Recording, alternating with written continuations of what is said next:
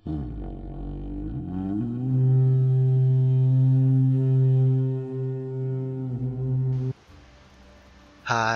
โหล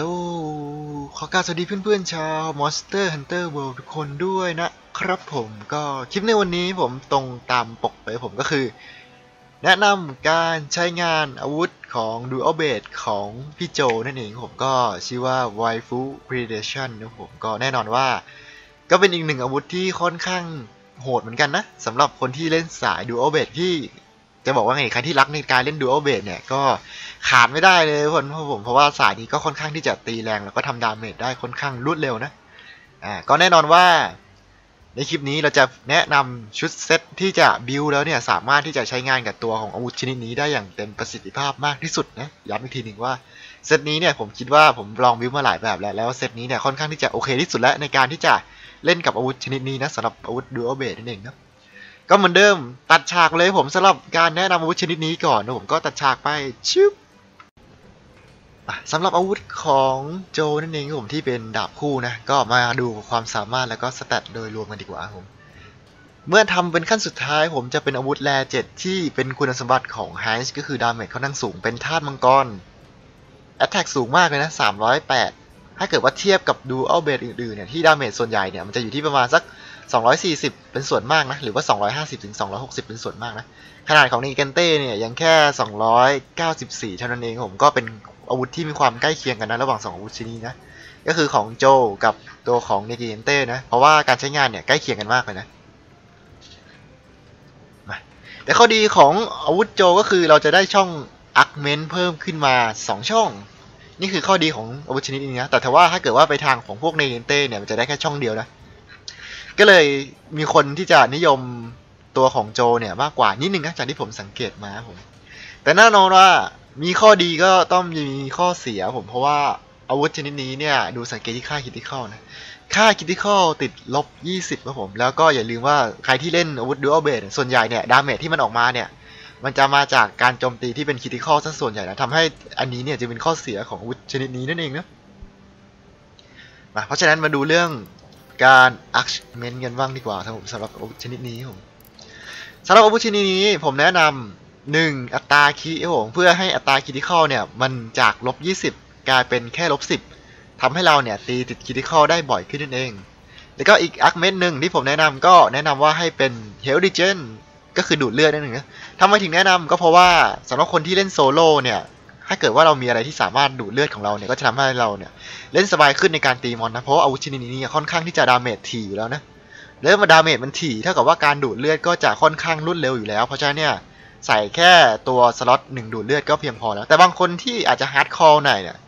ก็คิดว่าไม่จำเป็นต้องดูดเลือดเนี่ยก็อาจจะเปลี่ยนเป็นใส่ attack ก็ได้เหมือนกันนะเป็นว่าปรับตามความเหมาะสมของแต่ละคนนะ แต่ใครที่บิวคล้ายๆผมเนี่ยจะสังเกตว่าค่าคริเนี่ยมันจะลดไป 10 หน่วยนั่นเองเนาะและข้อดีอย่างของอาวุธชนิดนี้ก็คือเราสามารถที่จะขึ้นคมขาวได้นะ สังเกตนะผมมันจะมีคมขาวขึ้นได้ด้วยนะอ่าก็จะทำให้ damage ของเราเนี่ยยิ่งอัปเกรดขึ้นไปอีกนะสำหรับการทำคมขาวนะซึ่งจะต่างกับ dual blade บางอันที่ไม่สามารถขึ้นคมขาวได้นั่นเองนะอะอันนี้ก็ไปแนะนำตัดเข้าสู่ช่วงชุดแนะนำการใส่เลยผมก็ตัดฉากไปชึบ ขึ้นภาพมาที่ gem การใส่งานกันบ้างดีกว่า ผมก็แน่นอนว่าสามารถดูได้ตามนี้เลยนะคือหัวเนี่ยของรัทลอเนี่ยมันได้ค่า critical boost อยู่แล้วใช่ไหมหนึ่งเพราะฉะนั้นเนี่ยเราก็เลยใส่ expert เพื่อเพิ่มอัตราคริเนี่ยเพราะอาวุธชนิดเนี่ยสำคัญมากๆเลยนะสำหรับการที่จะทำให้มันตีติดคริเพื่อเร่ง damage ออกมา ยิ่งติดคริบ่อยก็ยิ่งดีนั่นเองเนาะก็ใส่รัทลอนะผม แล้วก็ใส่ gem attack แขนไคเซอร์เนี่ยถ้าเกิดว่าใครที่มี gem sharp เนี่ยก็จะทำให้เล่นง่ายขึ้นนะ ใส่กางเกงเดียโบ เพื่อเอาสกิล marathon runner ใส่ขาเดสเพื่อเอาสกิล craft level สองถามว่าทำไมถึงต้องเอาสกิลคาร์เวลสองเพราะว่าถ้าเกิดว่าเรามีสกิล handicraft level สองใช่ไหมจะทำให้ตัวอาวุธของโจเนี่ยสามารถเลื่อนขั้นแล้วก็เป็นคมขาวได้ครับผสมกับการใช้งานของตัวสกิล Sharp อะที่เวลาเราลับมีดใช่ไหม การทำงานของอาวุธเนี่ยก็สกิลนี้ก็คือการให้อาวุธของเราเนี่ยเป็นอมตะชั่วคราวก็คือความคมไม่ลดนั่นเองนะง่ายๆผมทำให้เราไม่ต้องเสียเวลามานั่งกังวลว่า เราตีมอนไปสักพักหนึ่งเนี่ยแล้วคมขาวมันจะลดใช่ไหมถ้ามีอาวุธชนิดนี้เนี่ยก็จะช่วยทำให้เรายืดเวลาของคมขาวไปได้สักนาทีหนึ่งนั่นเองนะก็ทำให้เราเนี่ยทำ damage ได้อย่างต่อเนื่องมากขึ้นโดยไม่ต้องเสียเวลามาลับมีดใหม่เพราะว่าอาวุธชนิดนี้ที่เป็น Dual Blade ข้อเสียมันก็คือมันจะโจมตีมอนหลายฮิตใช่ไหม แล้วพอเราโจมตีหลายฮิตเนี่ยความคมของอาวุธก็จะหายไปเร็วมาก เพราะฉะนั้นใครที่อยากจะเล่นสาย Dual Blade ผมก็แนะนำว่าให้หา gem Sharp นี่ไว้ใช้นะ เพราะว่ามันค่อนข้างดีมากๆเลยนะสำหรับอาวุธชนิดนี้นะมาถ้าเกิดว่าใส่ตามที่ผมแนะนำเนี่ย แล้วก็ใส่ตามเซตเนี่ยก็จะได้ Attack 4 ซึ่งจะได้ค่า critical เพิ่มอีก 5 ใส่ Critical Eye 4 เม็ดที่จะได้ค่าอีกบวกอีก 20 หน่วย ใส่ Weakness ที่เวลาเรา ตีมอนอ่าอะไรพวกนี้ผมที่จุดอ่อนของมอนเนี่ย จะมีโอกาสที่จะทำให้เราเนี่ย ตีได้อะไรนะอัตรา criticalูงขึ้นสูงสุดถึง 50%แล้วสำหรับ Weakness ผมแล้วก็ Critical Boost เนี่ยที่เป็น gem อาจจะหายากนิดนึงนะใส่ไปแล้วปุ๊บเนี่ยจะทำให้ critical ของเราเนี่ยความเสียหายแรงขึ้นตามเปอร์เซ็นต์นี้นะHandicraft นี่มากับขาอ่า Marathon Runner มากับกางเกง Marathon Runner คืออะไร Marathon Runner ก็คือช่วยลด stamina ในการกดท่าไม้ตายพิเศษนั่นเองนะที่เวลาเรากด control ในนี่นะแล้ว อาของเราเนี่ยจะเรืองแสงสีแดงๆนะก็จะทำให้ไอเกรดตรงเนี้ยลดช้าลงหน่อยนึงอ่าก็ทำให้เราเนี่ยเล่นสบายขึ้นแล้วก็ท่าไม้ตายของเราอยู่นานขึ้น เราจะได้แบบตบมอนถี่ขึ้นโดยไม่ต้องเสียเวลาถอยจังหวะออกมาเพื่อยืนพักฟื้น stamina นะอันสุดท้ายก็เป็นช้าครับผมสำหรับตัว gem นะมาก็คร่าวๆประมาณนี้ผมสำหรับการแนะนำเซตนี้เนี่ยคือขอบอกเลยว่าเซตนี้นี่ damage จัดจริงอะไรจริงนะเกิดว่าเราสามารถที่จะ ทำให้มอนเนี่ยอยู่เฉยๆในระยะเวลาหนึ่งได้นั่นเองก็เดี๋ยวตัดฉากไปที่ gameplay เลยดีกว่าผมก็ตัดฉากไปชึบมาโอเคผมก็มอนที่เราจะไปทดสอบในคราวนี้ ผมก็เป็นตัวของRathalos ฟ้าแล้วกันนะอ่าเพราะว่ามันเป็นมอนที่ค่อนข้างที่จะโหดระดับหนึ่งนะอะประมาณนี้แล้วกันผมแน่นอนว่าเทคนิคในการเล่นอาวุธ ประเภทนี้ก็คือพยายามตีจุดอ่อนของมอนนะผมให้มอนล้ม แล้วก็วิ่งไปตีหัวนะก็คือเอาเขาเรียกว่านะจุดเด่นๆของอาวุธชนิดนี้ก็คือ การที่ทำให้มอนติดล้มแล้วพอมอนอยู่นิ่งๆเนี่ยเราจะได้ต่อคอมโบง่ายๆนะเพราะว่าการที่ตีหัวมอนเนี่ยเป็นการทำ damage ที่สูงที่สุดแล้วสำหรับคนที่จะเล่นอาวุธชนิดนี้เนี่ยหรือว่าบางทีก็อาจจะเลือกที่จะไปตีจุดอ่อนมอนส่วนอื่นก็ได้ผม ก็แน่นอนว่าก่อนที่เราจะเข้าเนี่ยใครที่มีสกิล Sharp เนี่ยก็ให้กินยาอะไรพร้อม แล้วก็ลับคมอาวุธก่อนที่เราจะเข้าไปตีตัวทางมอนสเตอร์นะ พอหลังสังเกตว่าเวลาเราลับคมเสร็จใช่ไหมไอตรงอาวุธของเราเนี่ยมันจะมีกรอบที่เป็นสีเขียวๆขึ้นมา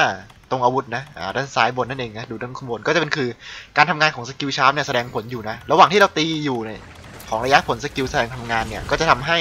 อาวุธเนี่ยคมไม่หายนั่นเองนะก็จะเป็นการรักษาคมได้ในระยะเวลาหนึ่งนั่นเองนะประมาณหนึ่งนาทีนั่นเอง เปิดมาไม่เป็นไรมากผมก็ตีบอลไปตามปกตินะใครที่วางกับดักได้เนี่ยผมก็แนะนำว่าให้วางดักหน้านั่นเองนะหรือถ้าเกิดว่าเจอมอนบินอะไรอย่างนี้ก็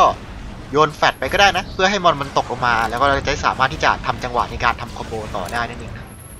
เดี๋ยวถ้าเกิดว่ามันลงมาเนี่ยก็วิ่งเข้าไปตีได้เลยตามปกตินะเป้าหมายแรกครับผมมันขึ้นอยู่กับว่ามอนของเราที่จะไปสู้เนี่ยเป็นตัวอะไรนะถ้าเกิดว่าเป็นพวกพวก Rathalos อะไรพวกนี้เนี่ยที่มันล้มง่ายๆเนี่ย ก็ตีขาให้มันล้มครับผม พอขามันล้มปุ๊บแล้วก็วิ่งเปลี่ยนเป้าหมายไปตีหัว ก็ทำอย่างนี้ไปเรื่อยจนกว่ามอนจะตายนั่นเองก็เป็นเทคนิคในการเล่นยิ่งเล่นโซโล่เนี่ยก็ยิ่งดีคือมอนจะติด KO ค่อนข้างง่ายนั่นเองนะแต่ใครที่คอมโบ damage เก่งๆเนี่ยก็จะรู้ว่าจุดที่ damage อยู่เท่าไหร่เนี่ยมอนจะล้มนั่นเองก็สามารถที่จะหยุดการตี damage ก็ได้นะแน่นอนว่าถ้าเกิดว่าเราสกิล Marathon Runner มาเนี่ยสังเกตได้ว่าแถบพลังงานที่เป็นหลอดเหรียญของผมเนี่ยมันลดช้ามาก คือกว่ามันจะลดถึงเนี่ยมอนก็ปาไปเกือบครึ่งหลอดเลยว่ะกว่าผมจะแบบถอยออกมาตั้งหลักเพื่อฟื้นพลัง stamina นิดนึงนะอะสังเกตเนี่ยหลังจากที่เราตีไปสักพักหนึ่งเนี่ยพลังงานของสกิลของ Sharp เนี่ยหมดใช่ไหมการลดคมก็จะกลับมาเป็นปกตินั่นเองนะทำให้เราเนี่ยสามารถที่จะตีฟรีมอนได้เกือบเกือบครึ่งหลอดได้เลยนะสำหรับสกิลนี้นะก็เป็นข้อดีสำหรับคนที่อยากจะเล่น Dual Blade แล้วแบบไม่ต้องกังวลเรื่องเกี่ยวกับการที่จะต้องเสียเวลามานั่งลับมีดบ่อยๆนะก็จะใช้สกิลนี้เนี่ยค่อนข้างคุ้มมากเลยแต่ถ้าว่าค่อนข้างหายากนิดนึงสำหรับ gem ชนิดนี้นะ ถ้าเกิดว่าเลือดมันน้อยปุ๊บหัวกระโหลกขึ้นก็แน่นอนว่าแนะนำว่าให้จับตามปกตินะเพราะว่าเวลาเราจับมอนใช่ไหมของรางวัลเนี่ยมันจะได้เยอะกว่าการที่เราฆ่ามอนนิดนึงแถมยังได้ quest ขึ้นมาในโซนของการล่า arena ด้วยนะเราก็จะสามารถล่ามอนแล้วก็ได้ของเพิ่มขึ้นอีกด้วยสำหรับผู้เล่นใหม่นั่นเองนะ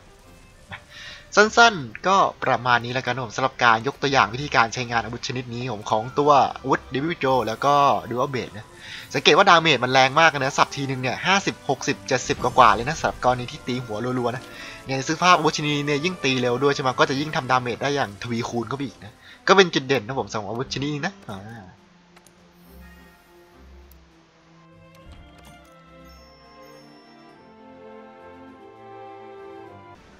สำหรับคลิปวันนี้ก็